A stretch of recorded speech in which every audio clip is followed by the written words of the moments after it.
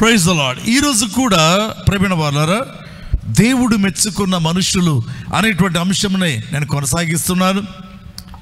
హలలుయ దేవుడు మెచ్చుకున్న మనుషులలో ఈరోజు మరి ఒక వ్యక్తిని మీ దగ్గర నేను ఉంచాలని కోరుతున్నాను. ఆ వ్యక్తి పేరు కాలేబు. ప్రవీణ వాళ్ళారా చాలా వండర్ఫుల్ అండి. కాలేబు యొక్క జీవితాన్ని చూస్తే ఎందుకు కాలేబు జీవితం ఆశ్చర్యకర జపమంటారా వాక్యం ఆశ్చర్యకరం అండి ఎప్పుడు కూడా వాక్యం ఆశ్చర్యకరము కాబట్టి వాక్యములో ఉండేటువంటి క్యారెక్టర్స్ మనం ఆలోచిస్తే చాలా ఆశ్చర్యంగా కనిపిస్తాయి. దేవుడు కాలేబును ఎంత మెచ్చుకున్నాడంటే కాలేబు అతనితో కలిసి ఈ యొక్క మినిస్ట్రీలో పాలు పంపులు పొందిన యహోశివ ఇరువురికే ఆ యొక్క కణాను ప్రవేశాన్ని ప్రామిస్ చేశాడు నెరవేర్చాడు. ఒక్కసారి ఆలోచన చేయండి. దేవుడు మోషేకు పర్మిషన్ ఇస్తే మోషే పన్నెండు మంది వేగుల వారిని పంపించాడు. ఓకే. ఈ పన్నెండు మంది వేగుల వారిలో యహోశివ కాలేబులు కూడా ఉన్నారు. వారు కణానికి వెళ్ళి వేగు చూసి వచ్చారు. అంతే కదా వీళ్ళు చేసిన పని?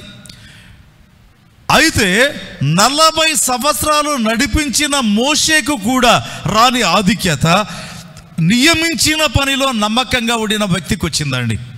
చాలా జాగ్రత్తగా చూడండి. బైబిల్ ఎప్పుడు కూడా మనం ఏ చిన్న పనిని తేలికగా తీసుకోకూడదు. పెద్ద పరులకే ఇంపార్టెన్స్ ఇస్తారు కానీ చాలామంది చిన్న పరులు అంటే తేలికగా కొట్టేస్తారు. అది చిన్న పనేమి కాదు. కాలేబు యహోశువలకు అప్పగించబడింది చిన్న పనేమి కాదు. అయితే ఫార్టీ ఇయర్స్లో అరణ్య యాత్రలో ఒక్క పనే వాళ్ళకి అప్పగించబడింది. ఆ ఒక్క పని ఎలా చేశారో ఈరోజు మనం చూద్దాం. దాని ఫలితం అత్యంత అభిషేకము పొందిన మోషే కంటే మించిన ఆధిక్యత పొందాడు కాలేబు. అంతే కదా? మన జీవితంలో దేవుడు అప్పగించిన పనులు. దేవుడు చెప్పినటువంటివి. లేదా మీ సంఘ కాపరి లేదా సేవకుడు చెప్పినటువంటి పనులు సేవకుడు నియమించినటువంటి పనులు నమ్మకంగా చేసి చూడండి. ఎంత గొప్ప దీవెనో కదా. మోషే లాంటి ప్రవక్త ఇది వరకు పుట్టలేదని వ్రాయబడింది. అతడు కూడా ప్ర ప్రవేశించని కణాను ఒక కాలేబు ప్రవేశించాడు. లేదా యహోశివ కూడా. వాయ్ వారికి అప్పగించిన పని సక్సెస్ఫుల్ చేశారు. చూడండి సంఖ్యాకాండం పదమూడవ అధ్యాయము పద ఆరవ వచనం. యూదా గోత్రమునకు ఇప్పున్నే కుమారుడైన కాలేబు. అంత సింపుల్గా ఇంట్రడక్షన్ ప్రారంభమైంది. అదేంటి బైబిల్లో ఉండేటువంటి బ్యూటీ మామూలుగా కవిత్వాలలో మనం చూస్తాం కదా ఒక క్యారెక్టర్ని గురించి చక్కగా చెప్పాలంటే బొంబాస్టిక్ లాంగ్వేజ్ వాడతారు. ఓ ఒక బ్రహ్మాండమైన ఇంట్రడక్షన్తో మొదలు పెడతారు. అయితే దేవుడు ఇంత బ్యూటిఫుల్ క్యారెక్టర్ను ఎంత సింపుల్గా ఇంట్రడ్యూస్ చేస్తున్నాడు చూడండి. జస్ట్ దట్ అంతే. ఏంటి? బైబిల్లో రాయబడింది ఎప్పుడే కుమారుడైనటువంటి కాలేబు యూదా గోత్రానికి చెందినటువంటి వాడు. దట్స్ ఆల్ అతడు కూడా ఈ పన్నెండు మందిలో వేగు చూసేదానికి పంపబడినటువంటి వాడు. ఓకే. అయితే ఇస్రాయేలు యొక్క లక్షలలో వేగు చూచినటువంటి పన్నెండు మందిలో అత్యంత స్పిరిచువల్ లీడర్స్ అయినటువంటి ఆ ముగ్గురు మోషి అహరోను మెరియాములలో ఎవరికి లేని ఆధిక్యత కాలేబుకి వచ్చిందండి చాలా వింతగా ఉంది కదా? ఒక పని చేశాడంతే. నలభై సంవత్సరాలు అహరోనులాగా యాజకత్వం చేయలేదు. లేదా దాదాపు ఫార్టీ ఇయర్స్ అనుకుందాం. లేకపోతే నలభై సంవత్సరాలు మోషేలాగా లీడర్షిప్ చేయలేదు. యహోశువలాగా ప్రత్యక్ష గుడారములో లేదా మోషేతో ఉండినట్టు లేదు.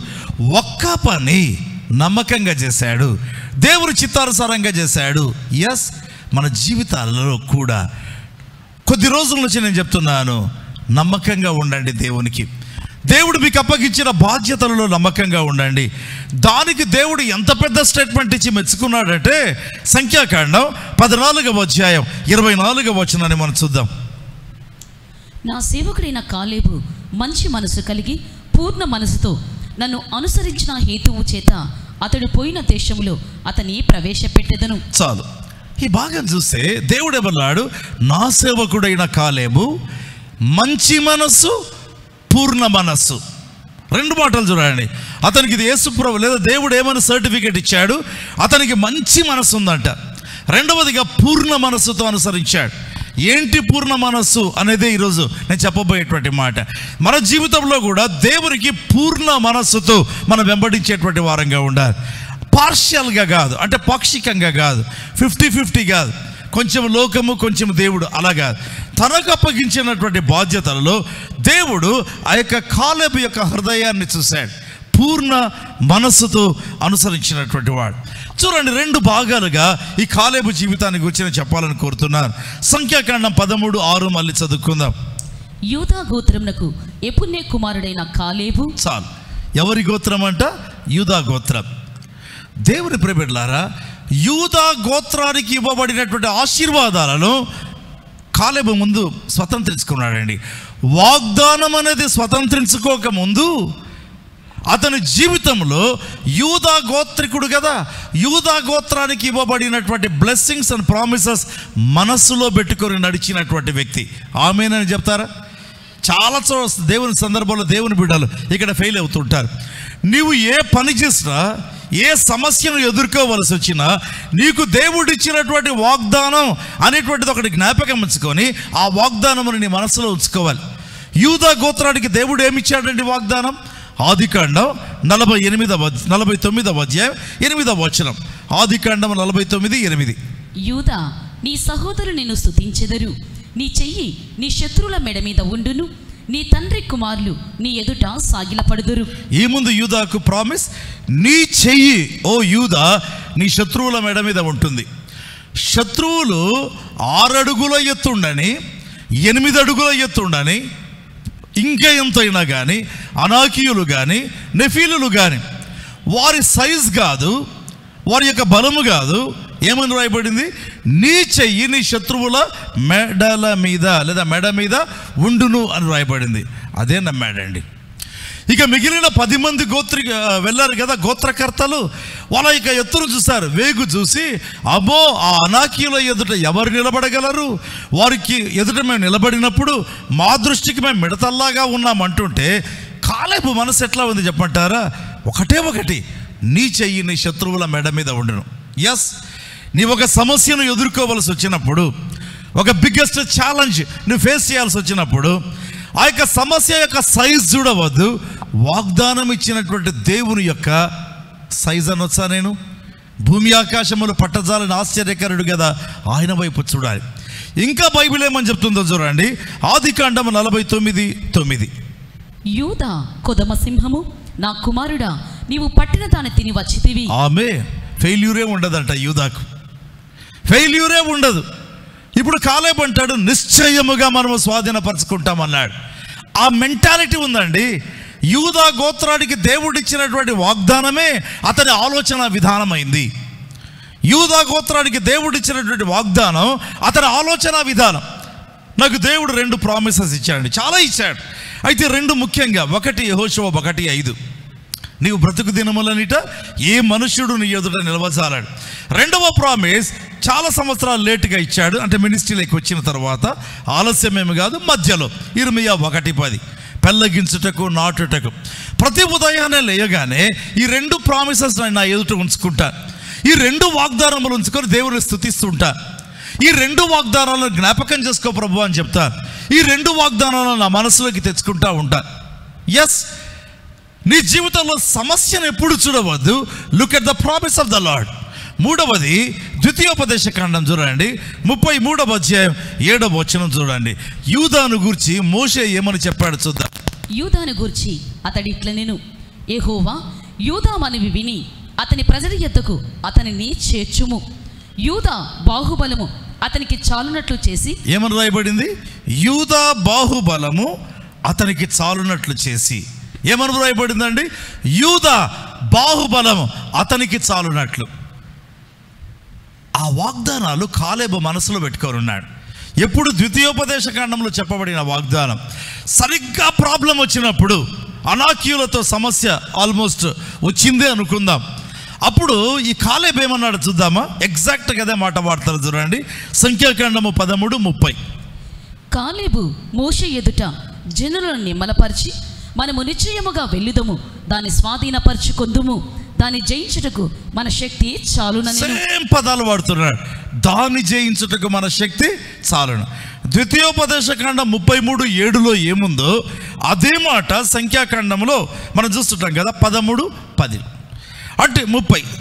ఆ భాగంలో మనం చూస్తూ ఉంటున్నాం. అంటే దేవుని యొక్క వాక్యం మనం చూస్తున్నాం కదా కాలేబు మనస్సులో ఏముంది? దేవుని వాక్యం ఉందండి. కాలేబు మనస్సులో ఏముంది? దేవుడి యొక్క వాగ్దానం అనేటువంటిది ఉంది. దేవుడికి స్తోత్రాలు చెల్లిద్దామా? ద్వితీయోపదేశ కాండము మీరు అనొచ్చు సంఖ్యాకాండము తర్వాత కదా అని అనొచ్చు. నిజమే? అయితే వాక్యము ఆది ఎందు వాక్యమునింది.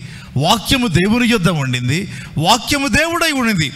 దేవుడికి స్తోత్రాలు చెల్లిద్దాం. ప్రభుకు మహిమ ఘనత చెల్లిద్దాం. కనుక మన జీవితంలో ఎప్పుడు కూడా మన మనసులో వాగ్దానమే ఉండాలి. వాగ్దానం మనల్ని ప్రభావితం చేస్తుండాలి. మా మన మనస్సు వాగ్దానము ద్వారా ప్రభావితమై ఉండాలి. అదే కాలేబు యొక్క మనస్సు. బైబిల్లో ప్రభు ఏమన్నాడు? కాలేబు మంచి మనస్సు. ఏంటి మంచి మనస్సు? వాగ్దానమును విశ్వసించడం వాగ్దానమును మనస్సులో కలిగి ఉండడం వాగ్దానమే నీ ఆలోచన విధానాన్ని ప్రభావితం చేయాలి. చూడండి సంఖ్యాకాండం పద్నాలుగు ఆరు చదువుకుందాం. సంఖ్యాకాండం పద్నాలుగు ఆరు. అప్పుడు దేశమును సంచరించి చూచిన వారి నుండిన నూనో కుమారుడన యెహోషువాయు ఎపున్నే కుమారుడగు కాలేబును బట్టలు చింపుకొని ఈ భాగం చూడండి. దేశమును సంచరించి చూచిన వారిలో ఇస్రాయేలీయులు అందరిలో దేశమును సంచరించి చూసిన ఆ పన్నెండు మందిలో ఎవరిలో చూసినా కూడా వీళ్ళిద్దరు టాపర్స్ అంతే. ఎవరు? యహోషువా కాలేబులు. ఏంటి వీళ్ళ క్వాలిఫికేషన్? The believed. ఏంటి? వాగ్దానాలను నమ్మినవారు. హలలుయ అనాకీయులను బట్టి వాగ్దానము చిన్నది కాదు. అనాకీయుల యొక్క ఎత్తును చూసి వాగ్దానము పుట్టిది కాదు. లేకపోతే మరుగుజ్జులను చూసి వాగ్దానము పడవు కాదు. వాగ్దానము వాగ్దానమే. దేవుడు పలికిన మాట కదా అది? ఆ విధంగా దేవుని వాగ్దానమును దేవుని వాగ్దానంగా నమ్మినటువంటి వాడు.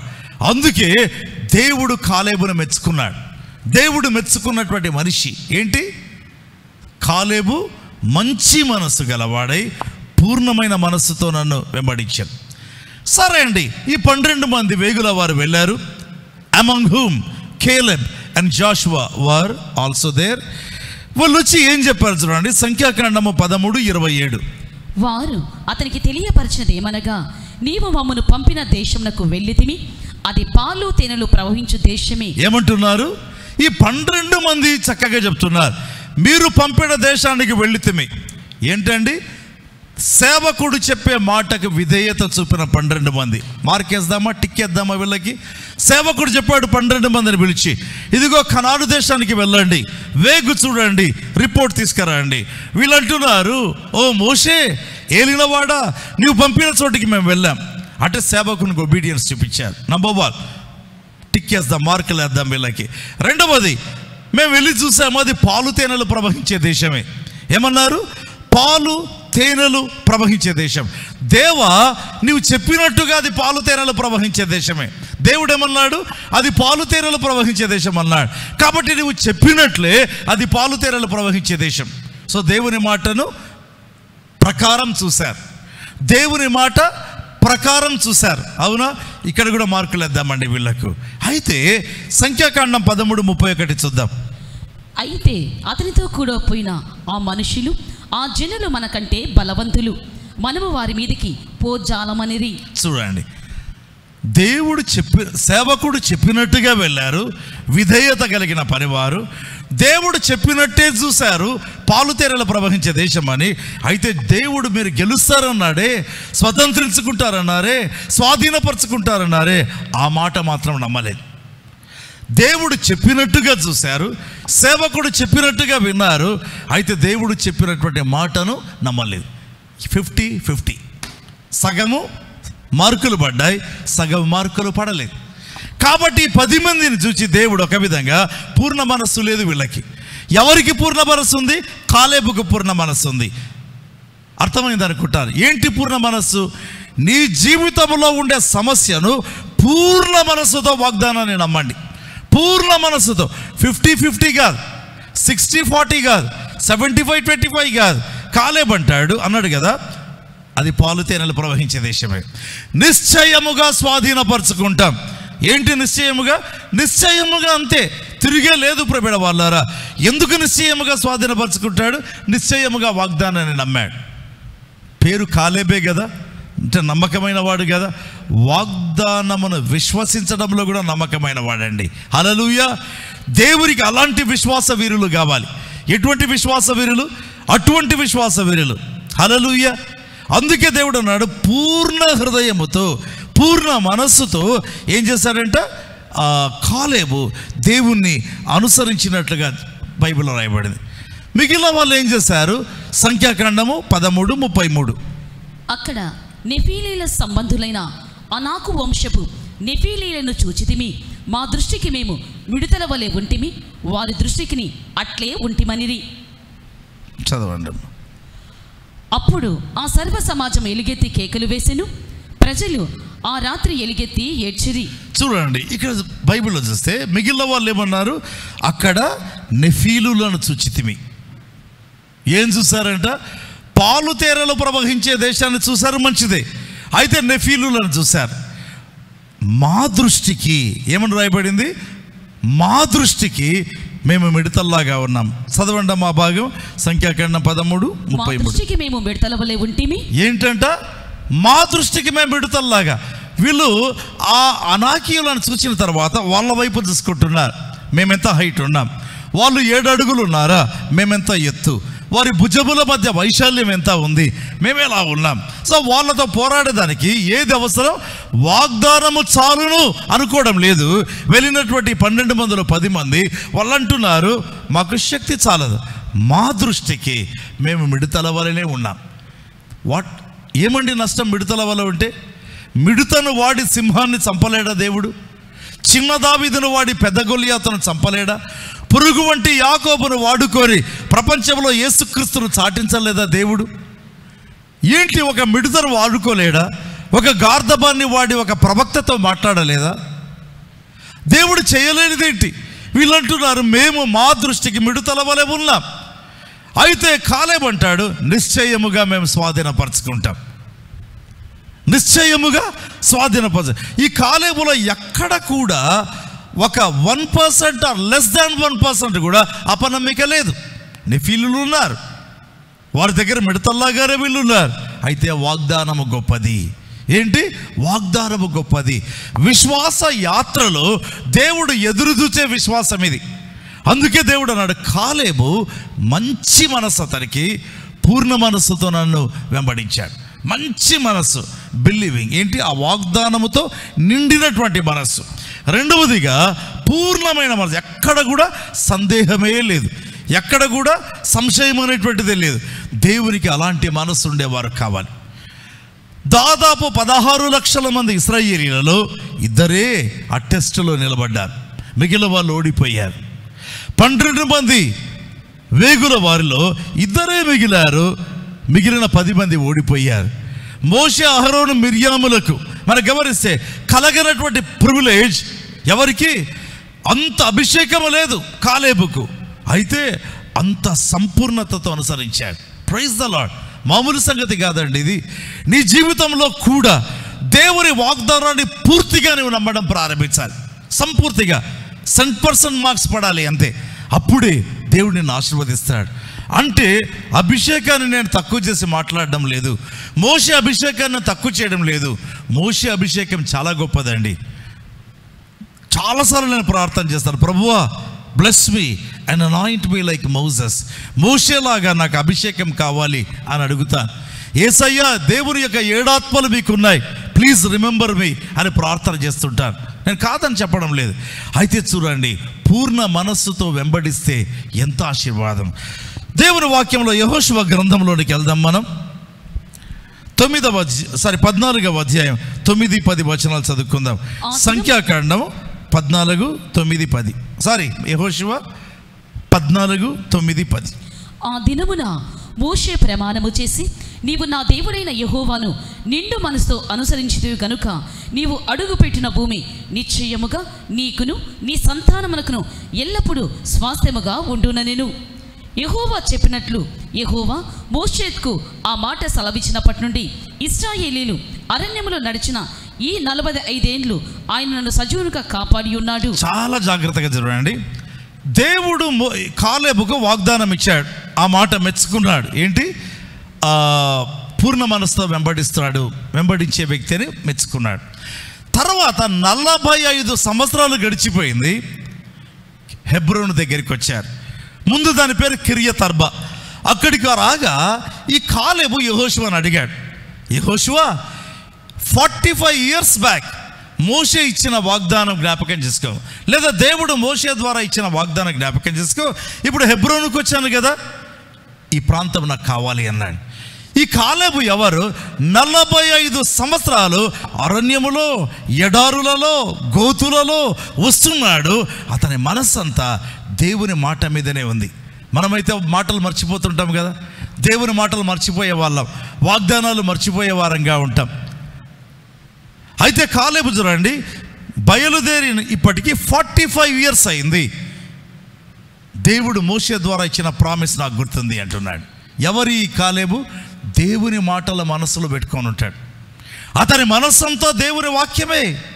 ప్రైజ్ ద లాడ్ మన జీవితాలలో కూడా తెలుసుకోవాలి మన మనస్సు నిండా దేవుని వాక్యం ఉండాలి. ప్రభు అంటాడు కదా మీ హృదయం అనే పలకల మీద తన యొక్క వాక్యాన్ని దేవుడు రాస్తాడు. సో ఆ యొక్క పద్నాలుగవ అధ్యాయం పదకొండు పన్నెండు చదువుకుందామా? యెహోషువ గ్రంథం పద్నాలుగవ అధ్యాయం పదకొండు నుంచి చదువుకుందాం.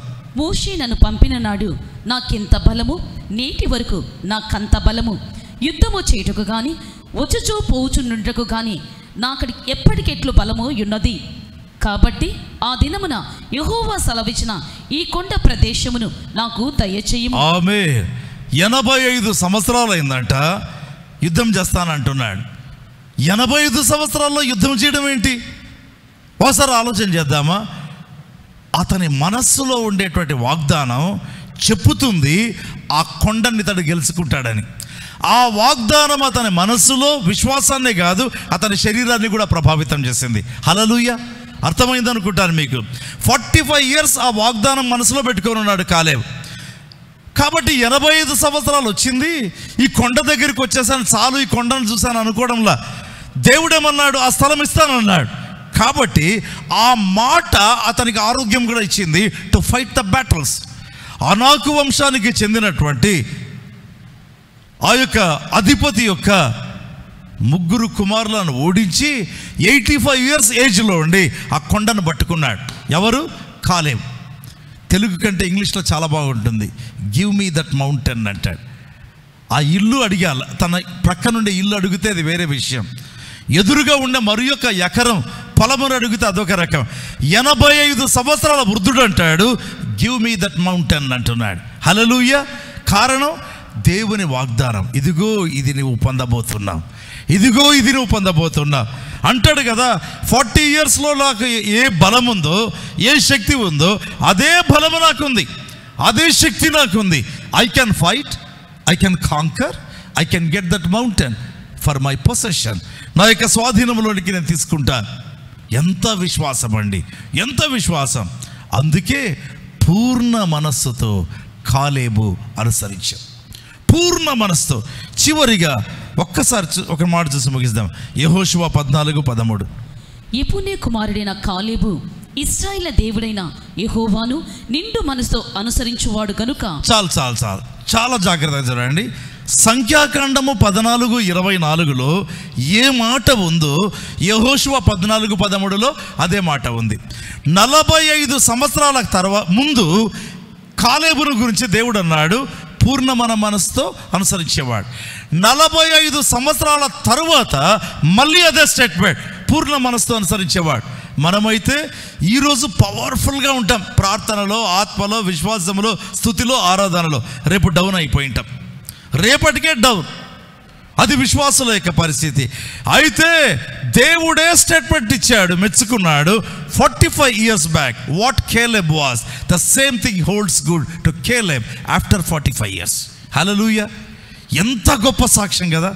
నలభై ఐదు సంవత్సరాల అరణ్య ప్రయాణములో అరణ్య ప్రయాణంలో విశ్వాస యాత్ర చేశాడు అదే సర్టిఫికేట్ మళ్ళీ పొందాడు. టెన్త్ క్లాస్లో నా మార్కులు వేరండి ఇంటర్లో నా మార్కులు వేరు. ఇంటర్లో మార్కులు డిగ్రీలో వేరు. అయితే ఒకే సర్టిఫికేట్ ఫార్టీ ఫైవ్ ఇయర్స్ ముందు ఫార్టీ ఫైవ్ ఇయర్స్ తర్వాత కూడా ఒకే సర్టిఫికేట్. ఎంత కన్సిస్టెన్సీ కాలేబుకు?